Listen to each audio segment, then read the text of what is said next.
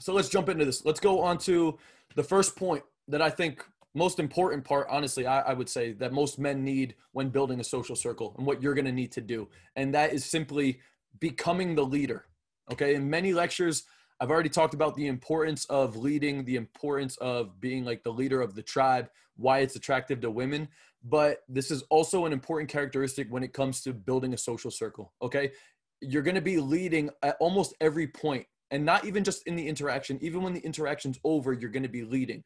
I already discussed the importance of leading by opening the interaction. That's like leading, transitioning into an introduction, a name introduction, transitioning into an IG or number close, suggesting that he comes out and parties with us again, following up with him. Those are all leading qualities. Like it's your job to do those things. You don't wait for the guy to like follow up with you because most people aren't going to do this. Shit.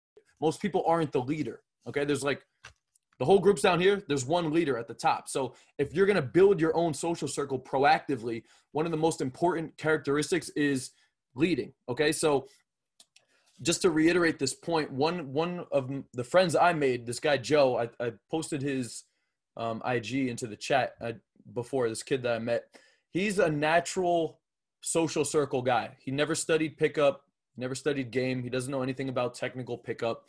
However, when I met this kid out, he already had a very big social circle. He was already successful with women. He was a natural at social circle. And when I met him, I met him out at a, a nighttime venue and I think I was just in a, an area. This was pre-COVID, years ago. Actually, I met him out. There was a group of people around. I was just interacting with, and he was two bodies over from me. And at some point, I just made like an observational statement about him, and that was how it started. Okay, from there, we just talked a little bit. I didn't even have that long of an interaction with him, but we exchanged names, and that was it. About two, three weeks later, I was at the same venue and I saw him again at which point we said, "What's up? How you doing?" Blah blah blah blah blah. We joked around a little bit, and that was it for that night. And then I saw him a third time, like um, two weeks after that. And at this point, I had already known he had a girlfriend, but I saw him out and he was talking to some girl, and she was actually really attractive. But at some point, I went up to him and I was like, "Oh, what's up, Joe?" And as a joke, I was like, "Yo, bro, like, yo, where's your girlfriend tonight?" and I kind of like said it like laughing and joking to the point where he like started blushing because it was kind of obvious, and the girl started to feel weird, and then the girl kind of like walked away. But me and him like joked about that that situation later on, and then literally from that night, he asked for my phone number, and then one thing I noticed about him was he continued to follow up with me through text message, like. The following week, he invited me out to a pregame at his house. He had a he had an apartment that was really close to the bars. He invited me out. I didn't go and then two weeks after that, he was like, "Hey, by the way, dude, I'm hosting a barbecue this weekend. If you want to come by, like, you know, just bring some alcohol." So he invited me to the barbecue. I didn't go to the barbecue either. And then like a month after that, he invited me out a third time. At which point, oh no, actually, I I don't think I even went to the third invite, honestly. But what did happen was I was out like a month after all of this shit, and I made friends with another person who was like, "Yo, dude, there's an after party down the street. You should come." I was like, "Cool."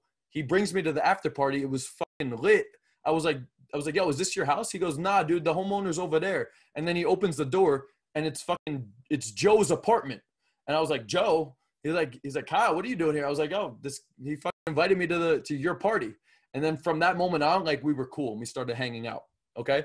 So that was how I met him. But all I'm trying to say, I'm telling you the story to reiterate the point of the importance of following up with somebody and constantly or consistently extending invites to them. He didn't even get me to go out until three or four invites like a month later. Okay. And actually I kind of met up with him by by coincidence, but he was the one that was like, What's your phone number? I'll hit you up sometime. He took my phone number. He sent me the text message. He invited me out several times. And then eventually I went out. So that's what I'm saying with this guys. Like the importance of becoming the leader is throughout every stage of the interaction, but it's also about following up with people and extending invites to them. Okay, you're following up with everybody you meet.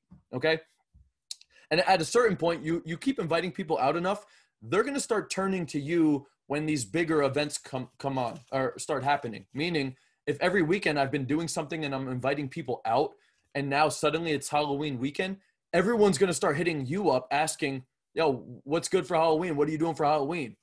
Okay, if you do it enough, you'll get you'll start building momentum to a point where all everybody's gonna start reaching out to you because they know you're the guy that's got something going on. Okay, so huge, huge point. Like even if you just stop the lecture right there and you take everything I just said and really implement that shit hard, you will have a social circle at the very least. Like that alone, that will build you a social circle. Okay, um, so it's actively making decisions for the for the group to go out and inviting everybody to come. Okay, so let's say it's Wednesday or Thursday or Friday. You want to start thinking about what's a spot that I could go to this weekend? What's the nearest bar I could go to? Or what's like a pop in food spot I could go to? What's like something I could do this weekend?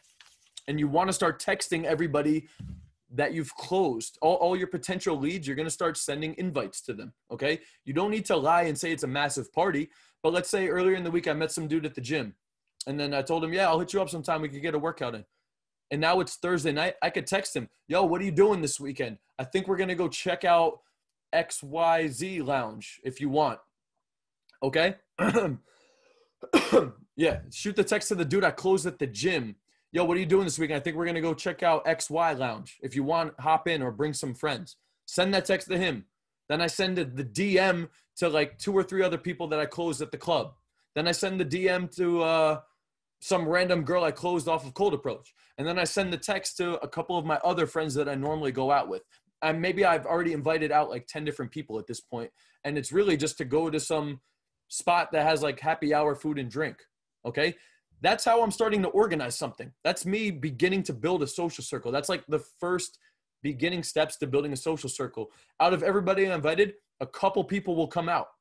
Those people will then be out with me for the evening. And it's my job to be the leader. Okay. This is why pickup comes into play right now because once we're out, it's a good idea to be social with them, but also be able to go out and bring girls into the group and start interacting with people or maybe even pushing your your boys into a couple approaches you buy a round of drinks you're having fun you're getting women or at least you're approaching women it's exciting and it's fun and you're providing an experience that most men can't do Okay, most guys can't go out and approach. Most guys aren't closing people at the gym and inviting them out to come get drinks. This is how this this is the foundation to building a social circle, okay? I hope you guys enjoyed this video and quick announcement by the way, I just released my brand new 12-week mentorship program. So for anybody that's interested in leveling up and achieving their goals with women and dating, click the link in the description, fill out the application, and we'll be reaching out to you to discuss further details. All right? I'll talk to you soon.